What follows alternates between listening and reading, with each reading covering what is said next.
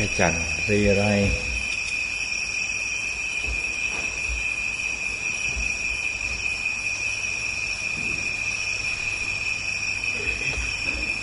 ไม่รู้เขาส่งภาษากันว่ายังไง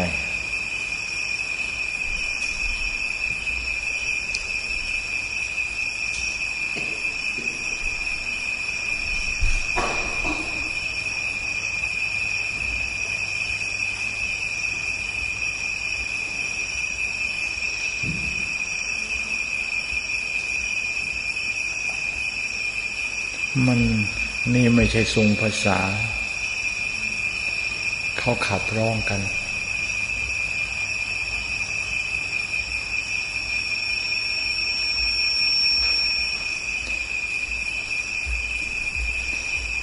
สัตว์ทุกอย่างทุกประเภทร้องลำทำเพลงเป็นทั้งนั้น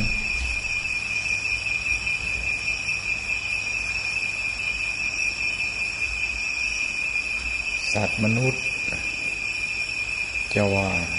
ผิวดำผิวขาวผิวเหลือง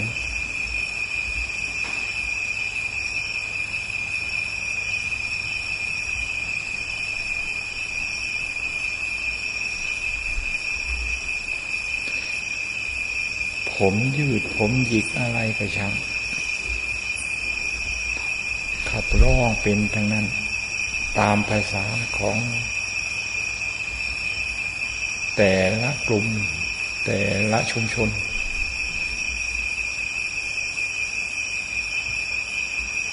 เสียงนกเสียงจักรจันเรไรเสียงอะไรก็ช่างเสียงจากสัตว์ในโลกทั้งนั้น สัตว์ในโลกทุกอย่างขับร้องเป็น คือแสดงความรื่นเริงสนุกสนาน หลังจากหาอยู่หากิน อิ่มน้ำสำราญแล้ว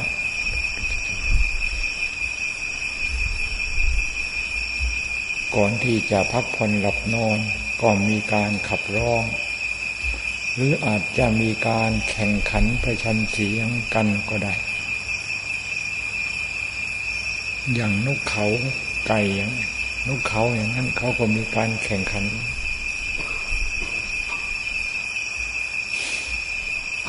สัตว์ทุกอย่างแข่งขันกันเป็น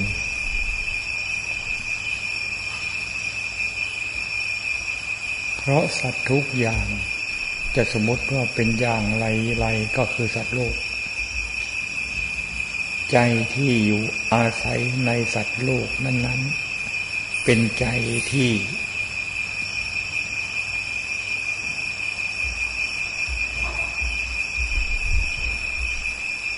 มีการแข่งขันมามากพบมากชาและพอใจในการที่จะเป็นผู้นำผู้ชนะ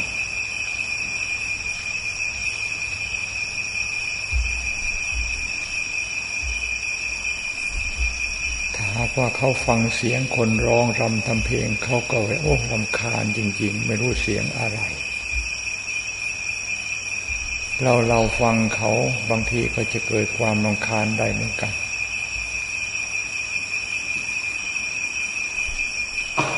ทั้งทั้งเสียงนั่นเขาไม่รู้เรื่องอะไร มันก็เหมือนกับเสียงเป่าปีเสียง เป่าแตร เสียงจริง ๆที่เป็นเสียงนั้นจะเสียงเสียงขึ้นเสียงลงเสียงต่ำเสียงสูงเสียงทุ้ม เสียงไม่รู้เรื่อง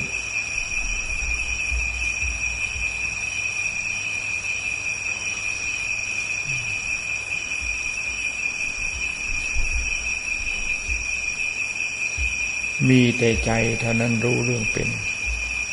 รู้ว่าเพราะ รู้ว่าเสียง รู้ว่าสูง รู้ว่าเสียงสูงเสียงต่ำเสียงแหลมเสียงแหบแห้ง ใจเท่านั้นรู้ แต่เสียงจริงๆไม่รู้ เหมือนกับไฟอย่างนั้นนะจะไฟจะรู้ว่าเป็นไฟสักทีไหม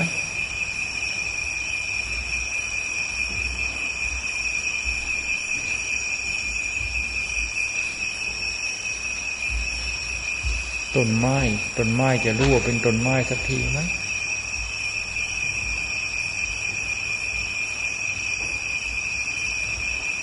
ฟองน้ำพยับแดด จะรู้ไหมว่าเป็นฟองน้ำเป็นพยับแดด เสียงก็เช่นเดียวกัน เขาไม่รู้ว่าเขาเป็น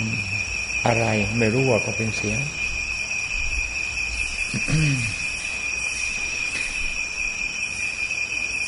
แต่ใจที่เป็นนักแข่งขันใจชอบ เป็นผู้เคยชินกับแข่งการแข่งขันเพื่อแพ้ชนะนั่น เอาสิ่งที่ไม่รู้เรื่องเอามาแข่งขันแข่งขันกัน นี่ทุกอย่างในโลกเป็นเครื่องโมเมาทั้งนั้น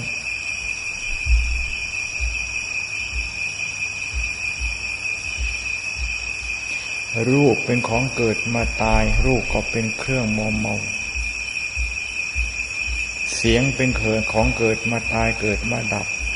เสียงก็ทำให้คนลุ่มหลงมัวเมากันมาก ๆ ได้มาก ๆ ทีเดียว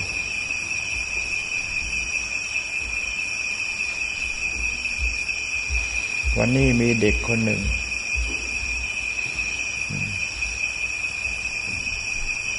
มา ถามว่าหนูโตขึ้นมาหนูอยากเป็นอะไร หนูอยากทำอะไร ผู้แม่เขาก็ถามหนูแย่หนูโตขึ้นมาหนูอยากเป็นผู้ปฏิบัติแม่ เขาสั่นหน้าเลยนะ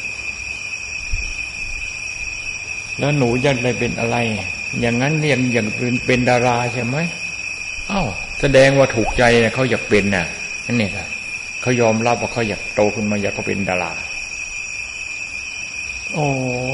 นี่ คิดแล้วก็สื่อเดี๋ยวนี้มอมเมามาก ๆ ทีเดียว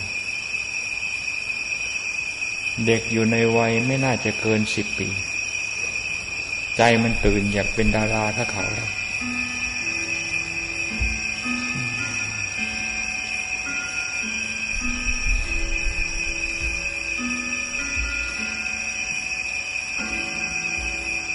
เด็กผู้หญิง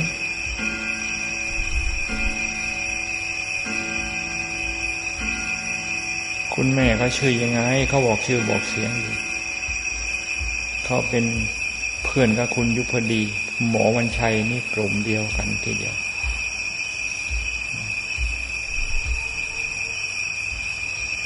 คนจังหวัดไหน ไม่ใช่ไกลๆแถวนี้ เขาไปอยู่อเมริกาหลานหลานเขาก็ไปเกิดอเมริกาเขามีหลานแล้ว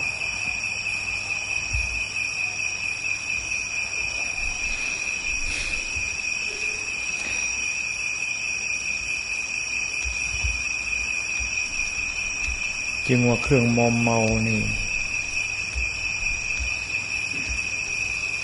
ยังว่ารูปเกิดมาดับ สัตว์โลกเกิดมาตาย สิ่งเหล่านี้ก็เป็นเครื่องมอมเมา เอามาเป็นเครื่องมอมเมา เสียงไม่รู้อีโหนอีเหนไม่รู้เรื่องรู้ราว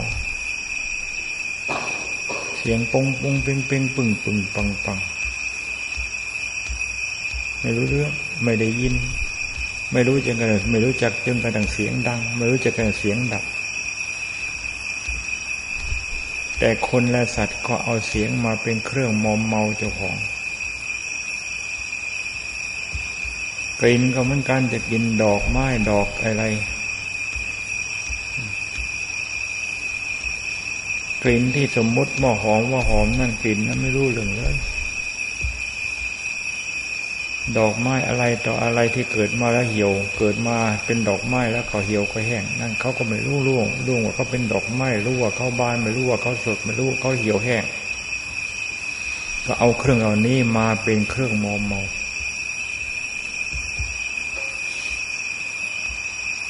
กลิ่นรสประเดี๋ยวประดาวก็เปลี่ยนแปลงประเดี๋ยวประดาวก็เปลี่ยนแปลง ก็เอาของที่ประเดี๋ยวประดาวเพียงแต่สัมผัสลิ้นเท่านี้แหละเอามาเป็นเครื่องมอมเมาแข็งขันกัน โฆษณาล้านนั่นโฆษณาล้านโน้นโฆษณาล้านเจนท่าน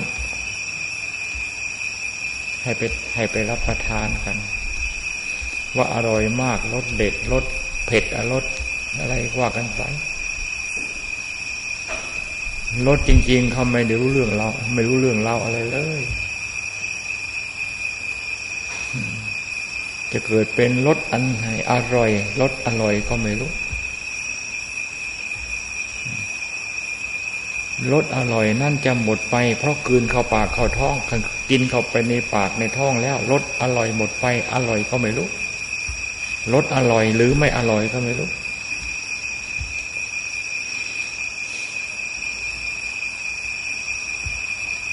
คิดอย่างนี้นึกอย่างนี่คิดถึงท่านอาจารย์ใหญ่กงมาท่านเคยเทศเสมอทำเหมือนกับกำบังไม้ไผ่ป้อนเข้าไปป้อนเข้าไปป้อนเข้าไปละเต็มละพ่ออย่าไป อย่าไปคิดถึงว่า อร่อยหรือไม่อร่อย ท่านฉันของท่านเป็นไปเวลาไปบินทบาทนี่ บินอาหารพี่ที่บินทบาทมาได้ เนนเนนจะต้อง หรือพระจะต้องมาการแกะแกะเป็นห่อเป็นห่อเป็นห่อที่เป็นห่อเป็นห่อนะแกะใส่เป็นโตเล็กๆเพราะท่านมานั่งนี่ท่านจะต้องบดอาหารเข้ากันซะก่อน จะเป็นแกงจืดจะว่าเป็นแกงเผ็ดนั้นไม่มี ไม่มีดอกสมัยนั้นไม่มี อาจจะมีบางก็นู้นชาวบ้านเมืองในใหญ่เมืองใหญ่เข้ามาพักประเดี๋ยวประดาวเพื่อปฏิบัติธรรมก็มีบาง อาหารพื้นบ้านธรรมดาเนี่ยท่านจะต้องผสมจริงกระทั่งมองไม่ออกว่าเป็นอะไรแล้วตัดจากตักสองช้อนสามช้อน ใส่บาตรนั่นก็ส่งเอาไปให้ต่อไปทำเหมือนกับปล่อยใส่ใบกระกำบังไม่ไผ่อ้าวก็ดีเหมือนกัน เดี๋ยวนี้ไม่ได้ คุยไปคุยมาอันเลือกอันนั้นเลือกอันนี้ พระกรรมฐานยุคสมัย โลกาพิวโลกาอะไร โลกาพิวัตเดโล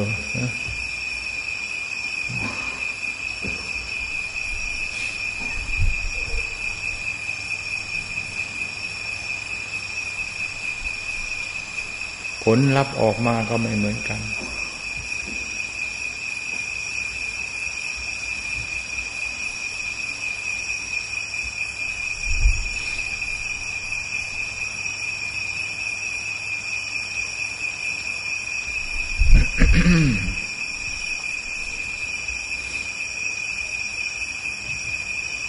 านทำของท่านเป็นประจำ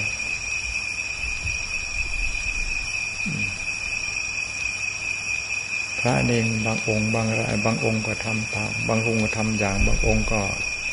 ทำบ้างไม่ทำบ้าง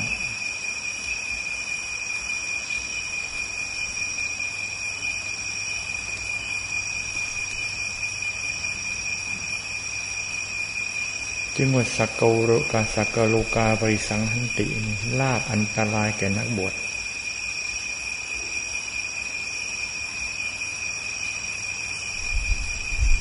ยศก็ลาบสนเสริญก็ลาบลาบทั้งนั้น มารวมเป็นคำว่าลาบอันเดียว อันตราย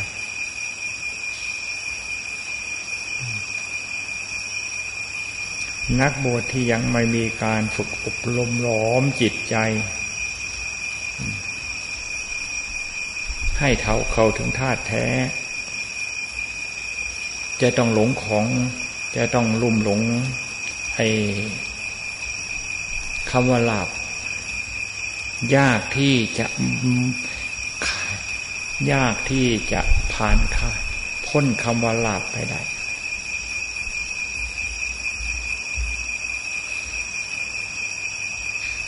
อาหารก็ลาบอะไรก็ลาบผ่าผ่อนทนสบายทุกสิ่งทุกอย่างปัจจัยทั้งสี่เป็นลาบทั้งหมด ที่อยู่ที่อาศัย เครื่องอุปโภคบริโภค แม้แต่ยศถาบรรดาศักดิ์อันนั้นก็เรียกจะเรียกว่าลาบก็ไม่ผิด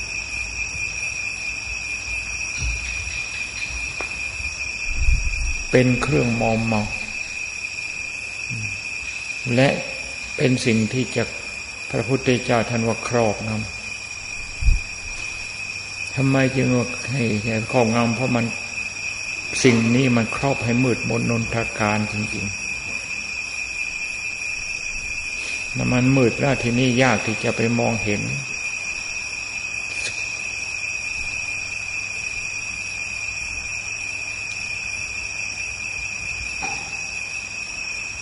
มองเห็นธรรมที่พระพุทธเจ้า ทรงดำเนิน มองไม่ยากที่จะมองเห็นทางที่พระพุทธเจ้าทรงดำเนิน และยากที่จะมองเห็นพระสาวกเจ้าท่านประพฤติปฏิบัติกันมา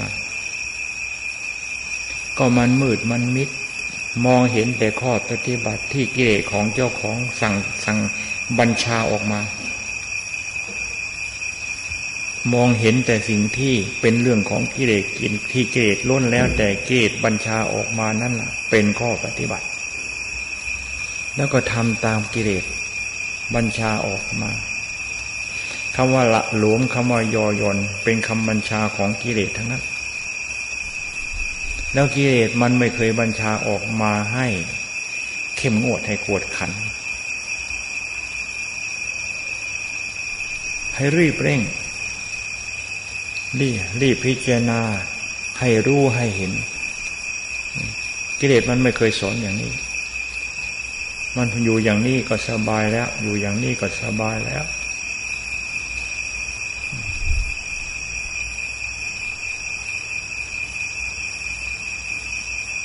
คิดนั่นก็เป็นเรื่องที่น่าสลดสังเวชมาก ๆ ทีเดียว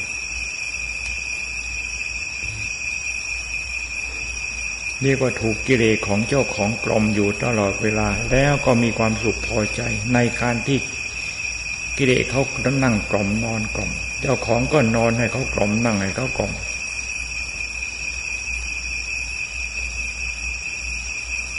ในที่สุดมันก็ ในที่สุดมันก็กลายเป็นสุขไป สุขเพราะกิเลสมันต้ม กิเลสมันตุนจนกระทั่งสุข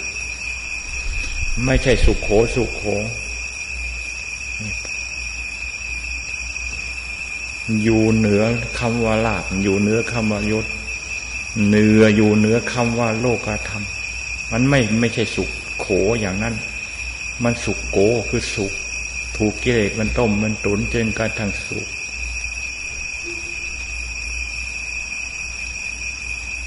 ถ้าหากมันสุกอย่างนั้นมันมีแต่ที่เจ้าเน่าเจ้าเปื่อยนะ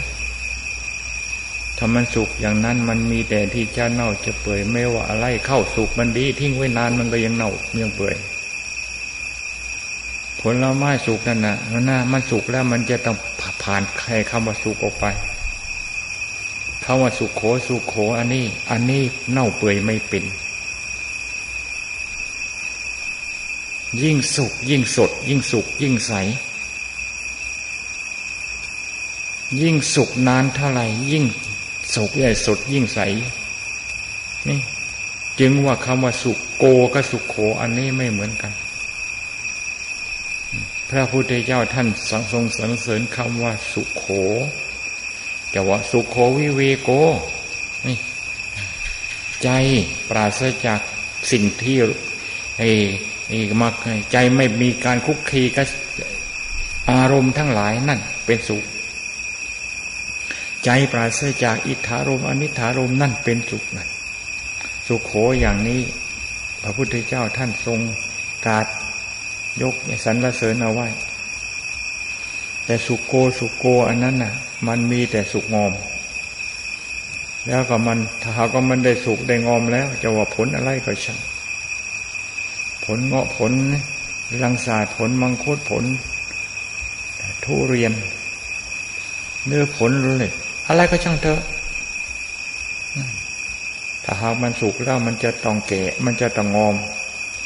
ในที่สุดเนี่ยมันก็ต้อง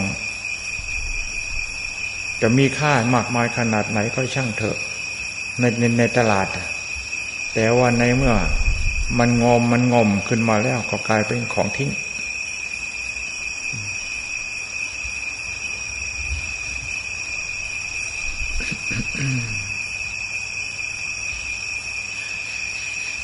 นะ คำว่าสมณะคมณะก็คือเป็นผู้ที่ไม่มีโลกก็โลกธรรมไม่สามารถที่จะครอบงำจิตได้ สมณะหมายถึงใจที่อยู่เหนือโลกธรรมอยู่ตลอดเวลา ถ้าหากว่าใจยังไขว่คว้าหาโลกธรรมมาครอบหัวเจ้าของล่ะ มองเห็นสมณะไม่มองไม่ยังมองไม่เห็นว่าเป็นสมณะตรงไหนคำว่าครอบครอบหัวมันก็ครอบหัวใจ มันไม่ใช่ครอบในหัวศีรษะนี่เราครอบในหัวใจ ในเมื่อหัวใจถูกโลกกระทำครอบงามเสียแล้วมองเห็นมอง ทั้งหัว มองไม่เห็นจิตมองไม่เห็นใจ แล้ว อันจะหมายถึงอะไรเป็นสมณะ สมณะต้องเป็นผู้ที่พ้นจากเข้าเครื่องครอบงำทั้งหลายทั้งปวง จิตที่พ้นจากเครื่องครอบงำเหล่านั้น เหมาะสมอย่างยิ่ง ที่จะเป็นสมณะของพระสมณะโคดมหรือของพระสัมมาสัมพุทธเจ้า อุบาสกอุบาสิกาก็เป็นสมณะเหมือนกัน เพราะใจเท่านั้นเป็นสมณะ สมัยพระพุทธเจ้าสมณะที่เป็นอุบาสกอุบาสิกาก็มีมาก ยุคนี้สมัยนี้คำว่าสมณะในสภาพความเป็นอุบาสกอุบาสิกาก็มี นักบวชที่เป็นสมณะก็มีมาก ในเมื่อจิตพ้นจาก คือเครื่องครอบงำด้วยประการทั้งปวงจิตนั้นเป็นสมณะทั้งนั้น ถ้าหากว่ายังถูกโลกกระทำครอบงำโลกกระทำถ้าครอบงำจิตลายใดและจิตลางลายจิตลายนั่นจิตดวงนั้นจะอิ่มในโลกกระทำไม่มี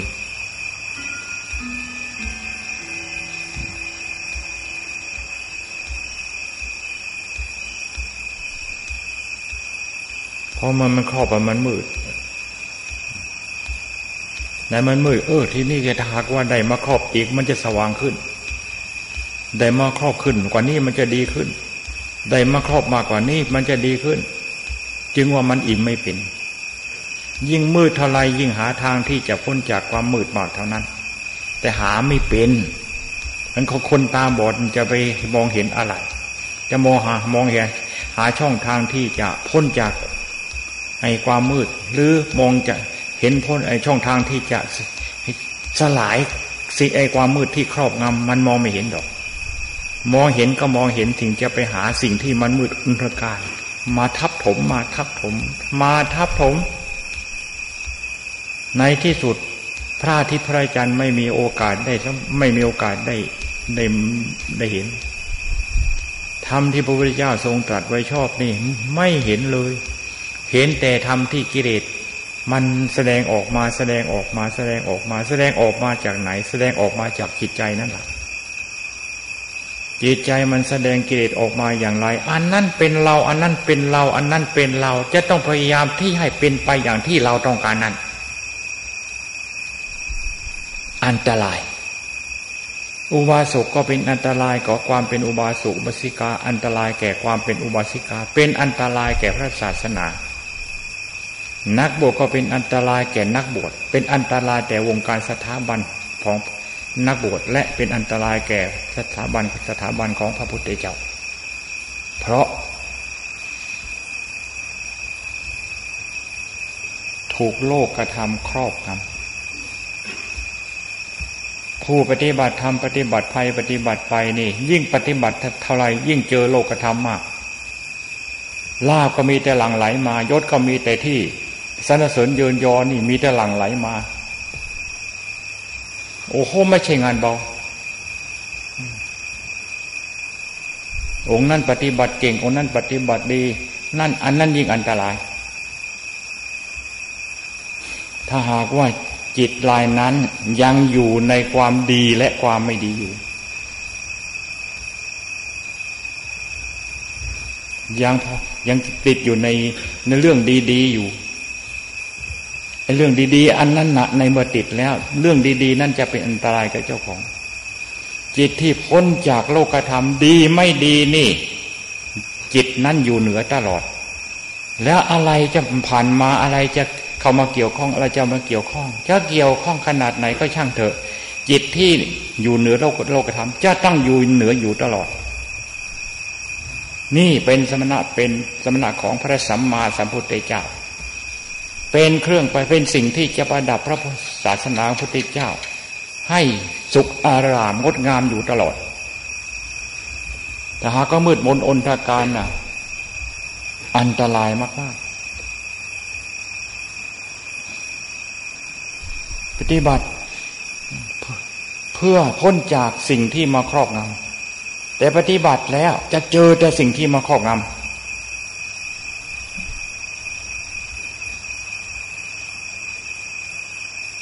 แล้วก็ชอบตายเพราะสิ่งที่มาครอบงำนั้น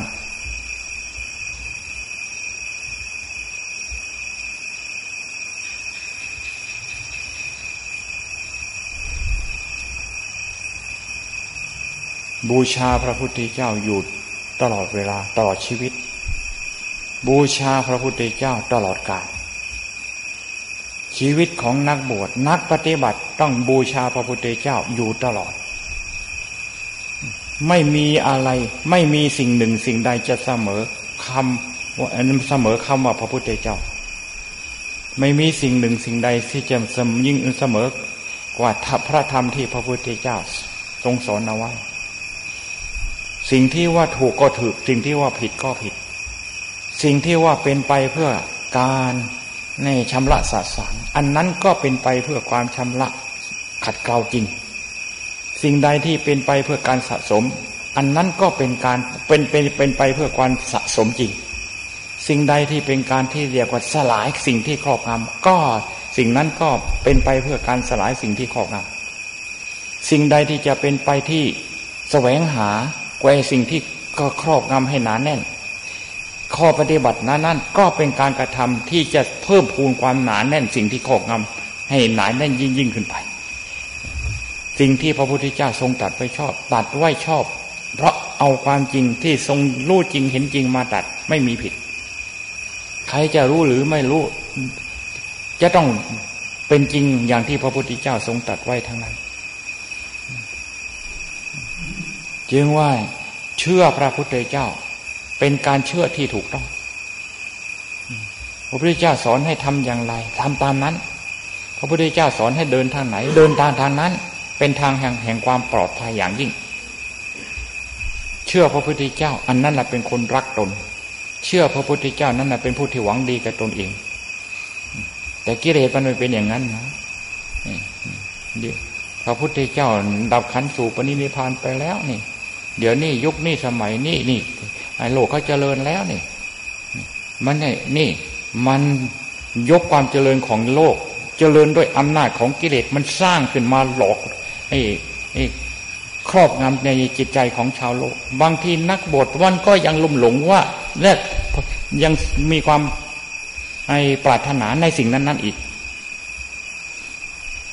นี่เรื่องของกิเลสมันหยาบชาติตลอด ไม่ว่ากิเลสของชาวบ้านไม่ไม่เกี่ยวว่ากิเลสของชาวบัดวัดกิเลสของนักบวชคราวาสมันพูดถึงหยาบหยาบทั้งนั้น ไม่ใช่พูดว่าตำหนิหรือไม่พูดว่าด้วยเต็มดีอะไร ความจริงมันเป็น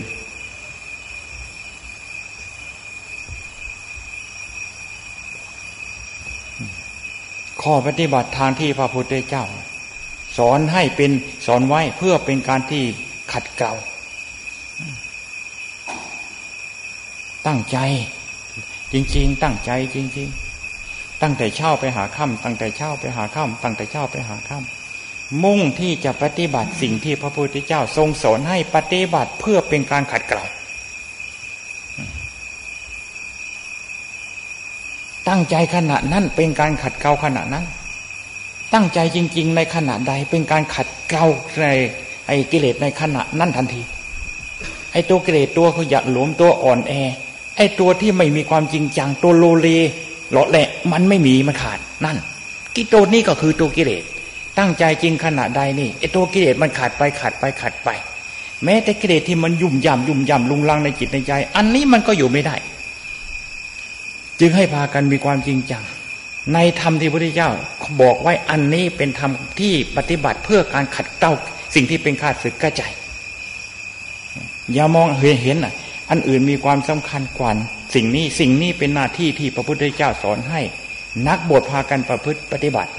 สิ่งที่พระพุทธเจ้าสอนให้อุบาสกอุปสิกามั่น คงแน่วแน่อยู่ในข้อปฏิบัติอย่างนี้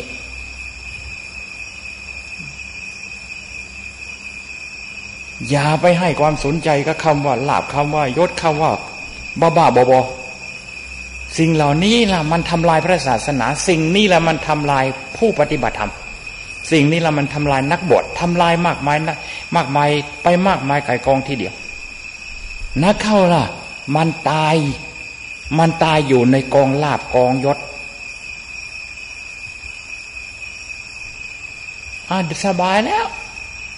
ลาบฉันก็เยอะแยะยศฉันก็มากไมายไก่กอง นี่ พอใจนั่นแหะคือตายแล้ว อยู่ในกองลาบกองยศพูดอย่างนี้เราไม่ได้ตำหนิคำว่าลาบตำหนิคำว่ายศตำหนิจิตตำหนิกิเลสที่มันไป ไปยินดีไปยินร้ายและไปพึงปรารถนานี่เราเราตำหนิจิตตัวกิเลสที่มันอยู่ในจิตนี้ลาบยศสรรเสริญเขาจะรู้เรื่องอะไร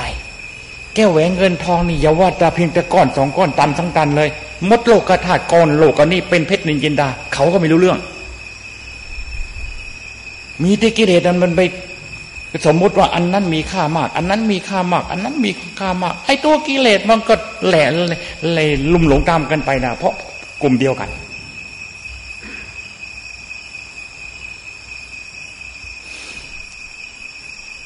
นักบวชมันต้องกัน มันต้องเด็ด อย่าให้อะไรที่เรียกว่าใครๆก็ว่า มาครอบงำมันในดันได้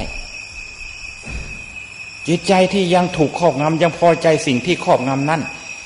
ยังไม่เหมาะในการที่จะเป็นสมณะของพระสัมมาสัมพุทธเจ้า สมณะของพระให้แม้แต่องค์พระพุทธเจ้า เป็นผู้ที่เด่นชัดอย่างเต็มเต็มร้อยอย่างสมบูรณ์เต็มที่ จะมีอะไรมาแผ่วพานมีอะไรมาครอบงำแม้แต่ขณะไม่มี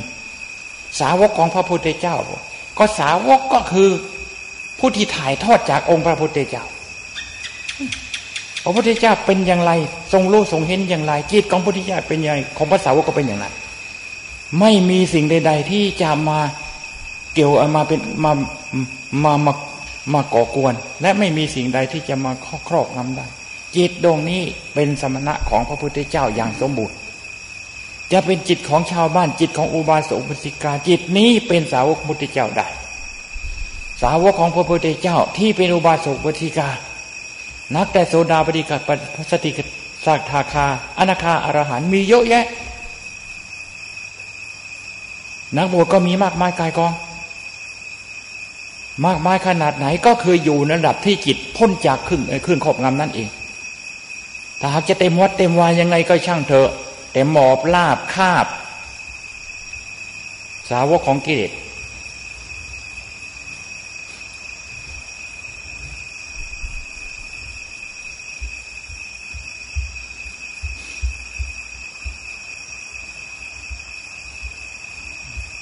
ดูจิตของเราอยู่ตลอดเวลา การปฏิบัติธรรมก็คือการตรวจดูจิต การปฏิบัติธรรมก็คือการปฏิบัติจิต ถ้าหากว่าเราไม่ดูจิตดูใจของเราจะปฏิบัติจิตใจของเราได้ยังไง รู้จิตรู้ใจเห็นจิตเห็นใจ มันคิดยังไง มันคิดยังไง มันขยับมันมีการกระเพื่อมขึ้นไหวไปในในลักษณะไหน รู้เห็นมันอยู่ตลอด มันต้องไม่ต้องมีใครมาตรวจสอบเรา และไม่ต้องมีให้ให้ใครตรวจสอบ สบายสบายสันทิฏฐิก็ไม่ต้องมีใครมาตรวจสอบปัจจตังนี่ไม่ต้องให้ใครตรวจสอบเราสบายสบาย เรารู้เราดีกว่าคนอื่นในในรู้ดีกว่าคนอื่น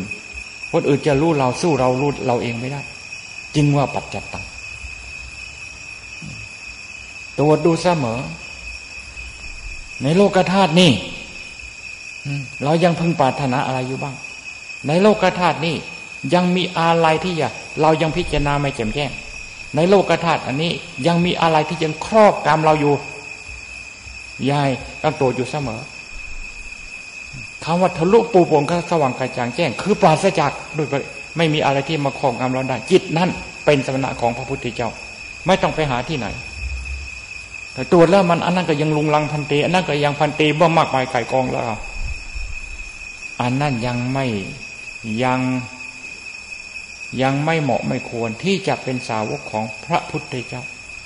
แต่เขาก็เหมาะสมที่สุดก็คือเป็นสาวกของกิเลส แล้วก็เป็นจริง ๆ ด้วย เพราะกิเลสมันสอนอยู่ตลอดเวลา และก็ปฏิบัติตามมันอยู่ตลอดตลอดเวลาด้วย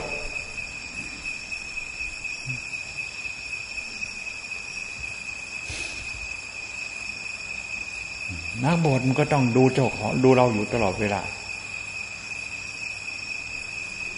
เราเนี่ยจะเป็นผู้ที่ตรวจสอบเราเอง ตรวจตราอยู่ตลอดเวลา ตรวจตราอยู่ตลอดเวลา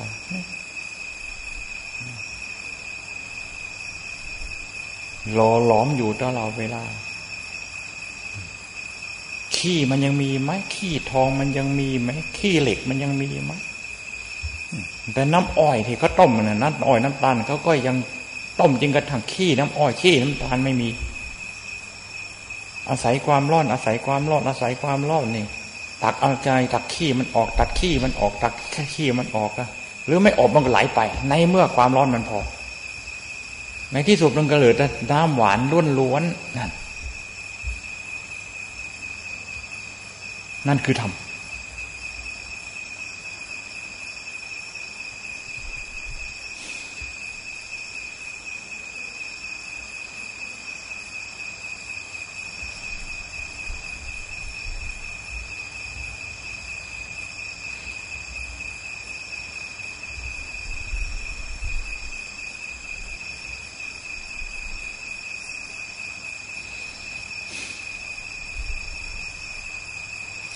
ถึงพระพุทธเจ้า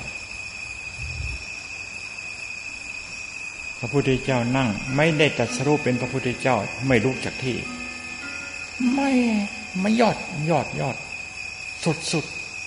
และสมที่พระพุทธเจ้าว่า ไม่มีใครเสมอเราตถาคต อันนี้เป็นความจริงจริง ๆ ไม่มีท่านผู้ใดประกาศ อย่างพระพุทธเจ้าทรงประกาศออกมา เพราะไม่มีใครเสมอพระพุทธเจ้า เราเราไม่ต้องใส่ไปไปเอาอย่างนั้นดอก นั่งลงนี่ตะวันไม่ขึ้นไม่ลุกเดินยังกรมนี่ใครๆก็ไม่ถึงเวลาปัดตัดไม่ถึงเอ้ไม่ไม่ไม่ไม่อยู่กลางวัน บางองค์ท่านเดินยังกรมตลอดคืนนะท่านเดินก็ได้ไม่ไม่ใช่คืนเดียวด้วยเซซ้ายเซขวาชนต้นไม้ก็มี ได้ผลอะไรชนต้นไม้ มันได้ผลคือความต่อคือความอดทน ชนะตัวกิเลสตัวตัวขี้เกียจขี้ค้านตัวกิเลสตัวตัวขี้ตัวตัวขี้เกียจขี้ค้านนี่ตัวอัปรีจันไรจริง ๆ คนทุกคนยากก็เพราะตัวกีตัวขี้ตัวขี้เกียจขี้ค้าน ไม่มีสมบัติพัฒสถานแม้แต่เรือนชานบันช่องก็ไม่มีจะอยู่ นั่นเพราะตัวกีตัวขี้เกียจขี้ค้านผู้ปฏิบัติธรรมก็เช่นเดียวกัน ตัวขี้แต่แต่ตัวขี้เกียจขี้ค้าน ตัวนี้ก็ตัวอัปรีจันไร อภิจันไรมันไม่ใช่เป็นข้างนอกนะ มันเป็นตัวขี้ก้านในเจ้าของนั่นน่ะ มันสร้างความเป็นอัปรีสร้างความจันไรให้แก่เจ้าของทีเดียวอภิจันไรมองข้างนอกนั่นมองโลกจะไม่เห็นที่มันจะเห็นอันอะไรมันมีแต่อากาศใช่ไหมล่ะมองที่ไหนก็มีแต่ดินหมดแต่น้ำมันมีแต่ลมแต่ไฟ มันจะมีอะไรอัปรีเป็น ตัวอัปรีก็คือตัวขี้เกียจขี้ข้านตัวจิตที่มันเต็มไปด้วยตัวขี้เกียจขี้ข้านตัวนี้คือตัวอัปรี จะสร้างความอับปรีแก่เจ้าของด้วย มองกิเลสจะไปมองไกล มองกิเลสจะมองข้างข้างนอกเราบางทีมองไม่เห็นกิเลสนะมองไม่เห็นกิเลสว่าหมดกิเลสแล้วไอ้ตัวเจ็บผู้มองบางทีมันไม่มันไม่มองนะ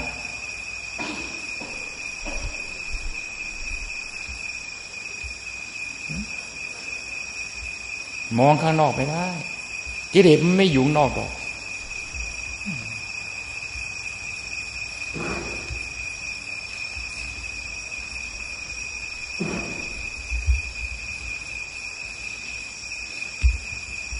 มองไหนไม่มีมองไหนไม่มีมองท่านั้น ไม่มี จะมองจะมันจะมีตรงไหนกิเลสไม่อยู่ในอากาศกิเลสไม่อยู่ในฟากฟ้าป่าหิมะพานที่ไหน ไม่ได้อยู่ในข้าวต้มขนมนี่มันอยู่ในจิตนี้ มองข้างนอกไม่เห็น มองก็ไม่ในจิต มองก็ไม่จิต มองก็ไม่ในจิตนี่มองเข้าไปจริงๆนี่สว่างกระจ่างแจ้งตลอดเวลาสว่างกระจ่างแจ้ง มั่นใจ สันทิฏฐิโก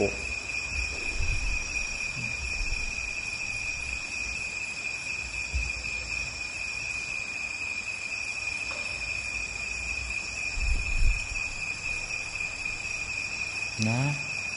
นักตรวจคือนักตรวจสอบมื่อเช้านี่เออมื่อเช้าหรือมื่อวานมื่อเช้ามั้งมีท่านตรวจสอบประเมินตามโรงเรียนไปตรวจสอบสามวันมั้งนอนก็โรงเรียนเลย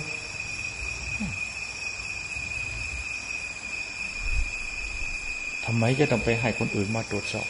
รู้สึกคือจ้างบริษัทมาแล้วมันสมัคร บริษัทมันก็บริษัทใกล้ๆก็ว่าจากในกลุ่มเดียวกันนั่นแหะจึงมีได้งานอันนี้ไปทำ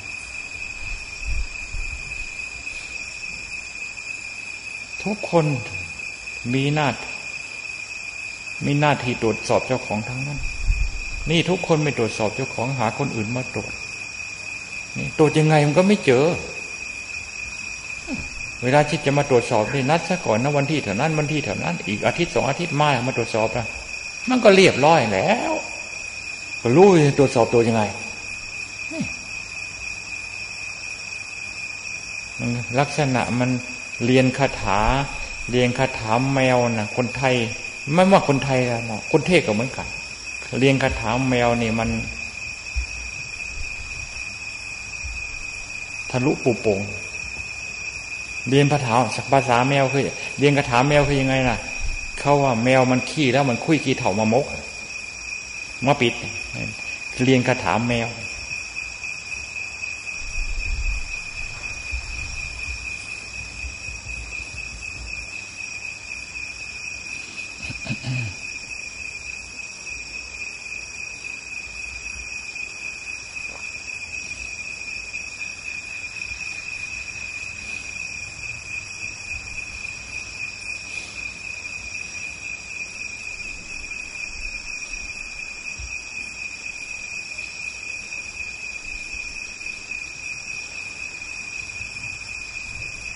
อย่าให้ความสำคัญกับสิ่งอื่น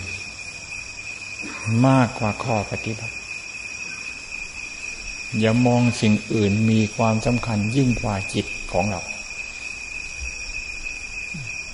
ถ้าหากมองสิ่งอื่นนะโอ้ไม่ได้ มองอันนั้นก็สำคัญ อันนั้นก็สำคัญนั่นก็สำคัญ เรื่องเล็กน้อยก็กลายเป็นเรื่องใหญ่ขึ้นมา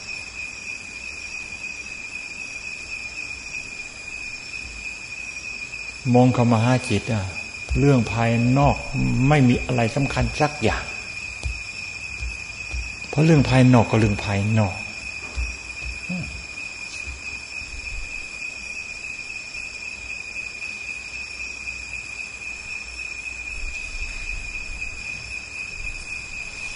เรื่องภายนอกต้องรู้ว่าเรื่องภายนอก เรื่องภายในต้องรู้ว่าเป็นเรื่องภายใน เรื่องภายนอก จะว่าเป็นเรื่องโลกก็ไม่ไม่ผิด เรื่องภายในเรื่องของธรรม ธรรมมีคุณค่ามากกว่าโลกมากมายไกลกองทีเดียว ให้เห็นคุณค่าของจิตของเรา ให้เห็นความสำคัญข้อปฏิบัติ ปฏิบัติจิตของเรา เห็นข้อความสำคัญข้อปฏิบัติ ที่พระพุทธเจ้าสอนให้เดิน เพื่อ เป้าหมาย เพื่อบรรลุเป้าหมาย อันนี้จึงให้พากันให้ความสำคัญเป็นพิเศษอย่าไปมองสิ่งใด ๆ มีความสำคัญ อันนั้นอันนั้นสิ่งนั้นนั่นน่ะ มันจะเป็นเครื่องดึงแข้งดึงขาให้การเดินทางของเรานี่ ล่าช้า ดีไม่ดีล่ะ ไปสะดุดนั่นสะดุดนี่ ล้ม ดีไม่ดีไปชนนั่นชนนี่ ล้มตายกันก็ ก็มีมาก พากันระมัดระวัง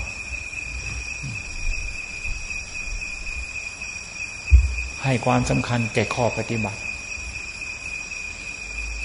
พาการให้ความสำคัญแก่จิตของเราให้ยิ่งกว่าสิ่งใด ๆ ทั้งหมดในโลก สิ่งใด ๆ นั้นทั้งหมดในโลก จะดีขนาดไหน จะมีมากมายกายกองขนาดไหน จิตของเรานี่ มันมืดอนอนทการมีค่าอะไร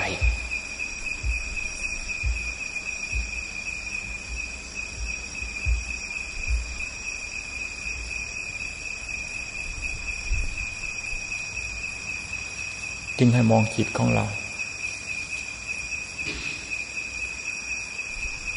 เป็นข้อปฏิบัติ ถ้าหากว่าไม่สนใจในการที่จะมองจิตของเรานั้น เป็นการหันหลังใส่ข้อปฏิบัติทีเดียว เราคนเดียวนี่ล่ะ ไม่ใช่ไปคนนั่น ไม่ใช่ไปพูนนั่น ไม่ใช่ไปสำนักท่านกลุ่มนั้น เราคนเดียวนี่ล่ะหันหลังใส่จิต ไม่สนใจในการที่จะดูจิตนั่น ใจของเราเป็นโลกไปแล้ว แล้วก็จะมองแต่เรื่องโลก น้อมมาดูจิตน้อมมาดูจิต เห็นแต่จิตของเราเรื่องโลกดับนั่นเป็นธรรมขึ้นมา เป็นข้อปฏิบัติขึ้นมาชำระสสังขัดเกลาซักฟอกจิตใจ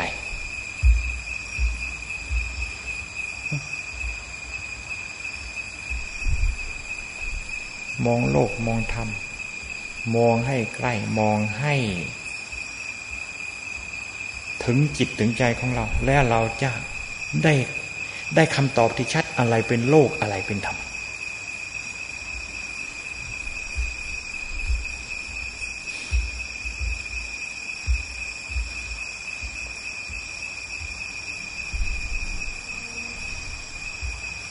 มองชัดแล้วมันไม่มั่ว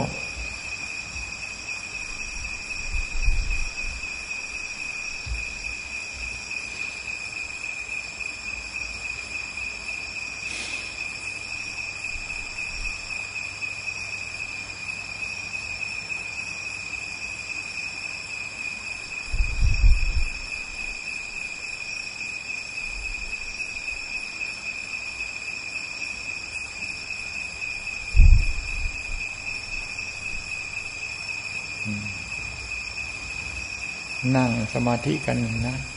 ศรัทธาญาติโยมก็ดี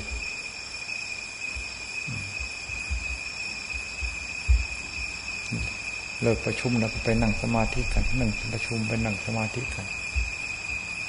อยู่ตรงไหนวิเวกทั้งนั้น อยู่ตรงไหนสะดวกในการนั่งสมาธิทั้งนั้น ถ้าหากว่าเทียบกันในบ้านในช่อง สะดวกสบายกว่ามาก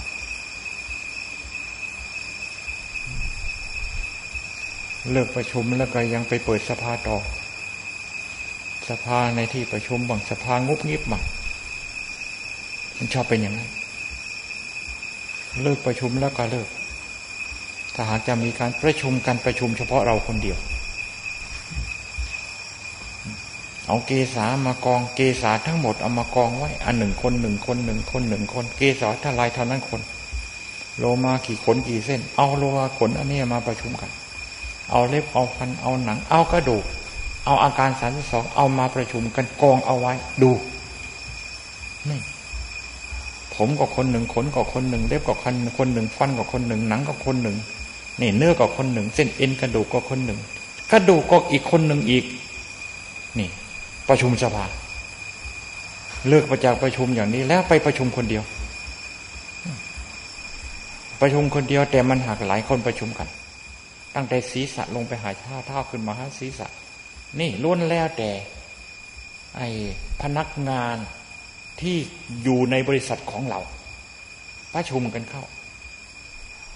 มีอะไรถกกัน มีอะไรถกกัน มีอะไร นี่ แก้ไปไหนมีปัญหาอะไรแก้ไปแก้ก็แก้กัน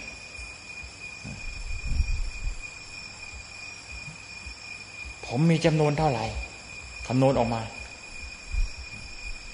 ผมมีจำนวนเท่าไหร่ควรคำนวณออกมา เล็บฟันมีจำนวนเท่าไหร่คำนวณออกมา หนัง นี่มันมันกว้างยาวเท่าไหร่นี่คำนวณออกมา เนื้อนี่ มันมีกี่ก้อนมันมีกี่ มันมีกี่กล้ามมันมีกี่ก้อนอะไรก็คำนวณออกมาอันนี้เรียกว่าทกกัน ประชุมอย่างนี้ก็เป็นการประชุม ประชุมอย่างนี้นักปราชญ์ทรงสรรเสริญ แม้แต่องค์พระพุทธเจ้าก็ทรงสรรเสริญ เรียกว่ากายนุไอเรียกว่ากายานุปัสสนาสติปัฏฐาน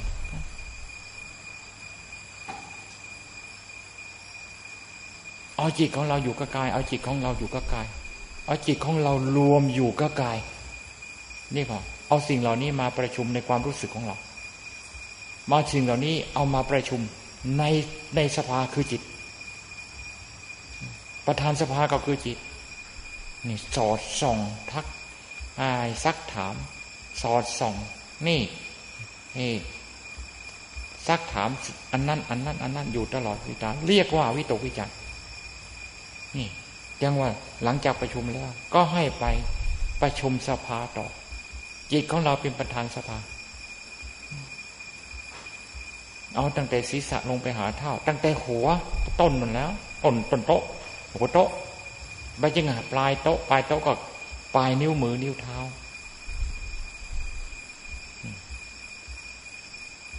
แม้แต่น้ำมูดน้ำคูด อันนั้นก็เป็นบุคคลคนหนึ่งที่เราจะต้องเอามาประชุมไอ้คำว่ามูดคำว่าคูดนี่มันเป็นของปฏิกูลมันมาจากไหนนี่พากันถกกันขึ้นมา มันมาจากของที่อร่อย อร่อย อร่อย อันนี้ล่ะ มันมาจากอันนี้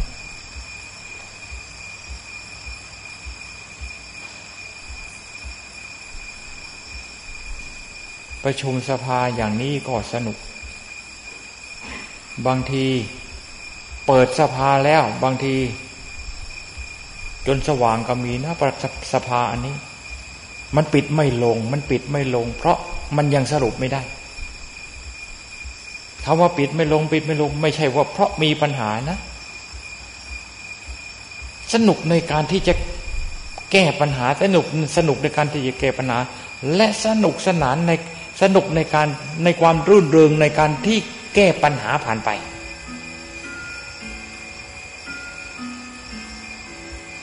จึงให้พากัน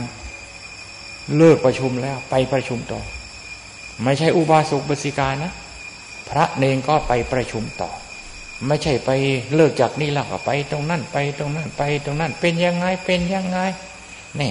นักข่านักได้นักข่ามีอะไรก็เอามา เอามาหยิบยื่นให้กัน มันไม่เป็นอัดเป็นธรรมนะส่วนมากที่จะหยิบยื่นให้กันนั่นน่ะเป็นแต่ของเมา ไม่ใช่แล้วไม่ใช่ ไม่ใช่เมาเกาไม่ใช่เมายาบ้ายายาม่ายาบ้ายาม่ายาบ้าอะไรดอกมันเมาอารมณ์ รมีอารมณ์อะไรก็เมาในอารมณ์อันนั้น เอาอันนั้น อันนั้นมาเล่าสู่กันฟังนั่นน่ะ มีแต่หยิบยื่นของเมาสู่กันกิน กินทางตากินทางหู อย่างนี้ไม่ได้ ไม่เป็นการประชุมสภาที่เป็นมงคล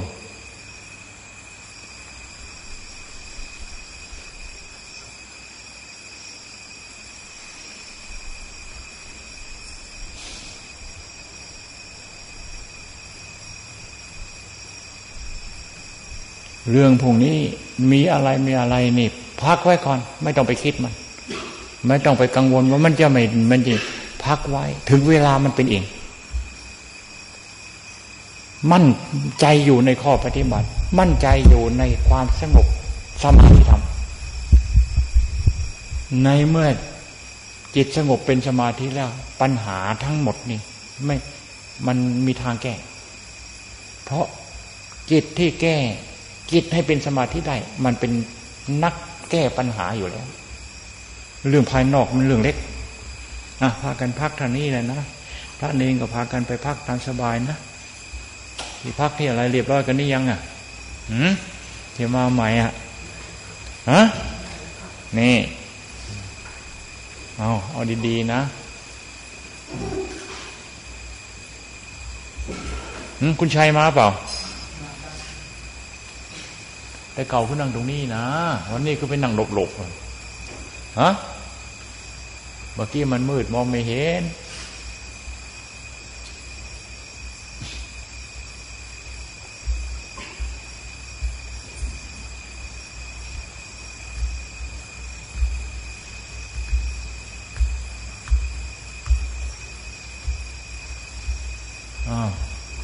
ได้ที่พักกันทุกคนนี่ไงคุณ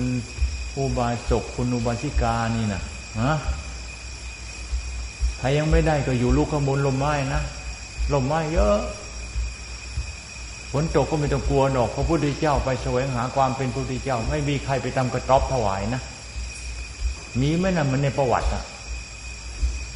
นี่สิ่งเหล่านี้เราคิดอยู่เสมอนะไม่ปรากฏนะเราหาอยู่นะเนี่ย ว่าใครไปทำกุฏิถวายพระพุทธเจ้า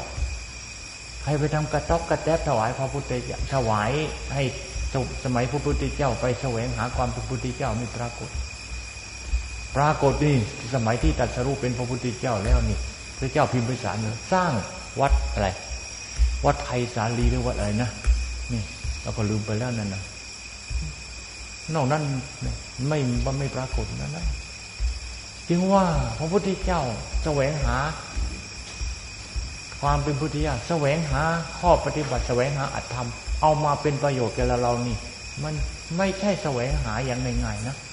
อยู่อย่างนั้นไม่มีกระต๊อบกระแทบนั่นนะถึงหกปีดูอยู่ได้ยังไงนี่ไปที่ไหนก็พุ่นจองบ่อนไว้ก่อนแล้วจองที่แล้วบางทีอยู่นะขอจองที่พักเนาะเราบอกว่าไม่ให้ใครจองสาย วัดเรามันวัดวัดได้ไปเออนั่นนะวัดในวัดประชาธิปไตย ใครมาก่อนได้พักคนไหนมาก่อนก็ได้พักคนไหนมาก่อนก็ดูแลคนมาทีหลังด้วย ไม่ใช่คนไหนมาก่อนฉันได้ที่พักแล้วไม่สนใครมาทีหลังจะมีไม่มีฉันได้ที่พักแล้ว ฉันพอใจ อันนั้นเองอันนั้นไม่ถูก ไม่ทำมาธิปไตย อัตตาธิปไตยแค่ไม่ได้ แล้วต้องดูเราดูเขาด้วยดูเราเรียบร้อยแล้วก็ดูเขา ต้องเป็นผู้ที่เสียสละอันตรงตรงนี้ตรงนี้ อืขยับกันมา ขยับหาการสบายสบายบางคนนะปูเสือไว้ของเงยกว้างๆซ้ำนะบางทีเอากระเป๋าไปวางไปกว้างๆโอ้โหเราจึงแม่อันนี้ก็เป็นธรรมเทศนา เรื่องของกิเลสนี่ ไม่ได้เรื่อง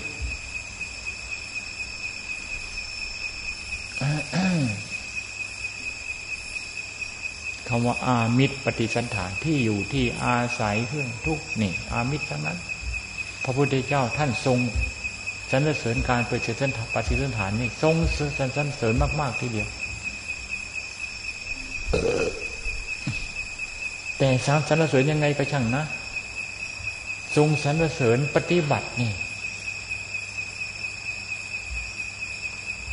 ปฏิบัติบูชา ทรงสรรเสริญมากกว่าเออามิสบูชามาก ต้องให้ครบ อามิสบูชาไม่สำคัญหรอก ฉันจะเอาที่ปฏิบัติไม่ได้ อามิสบูชานั้นล่ะ เราทำเราเป็นผู้ปฏิบัติใช่ไหมอามุอามิสบูชาเนี่ยไม่เอาไม่ต้องไม่เอาดอกเอาแต่ปฏิบัติบูชา อะไรก็ไม่สนอะไรก็ไม่สนนั่นแหะอย่างนั้นไม่ถูก ปฏิบัติบูชานะถูกพยามารมันผูกถูกพยามารมันมันต้มอะเลิกกันพากันตามสบายนะท่านเองก็ดี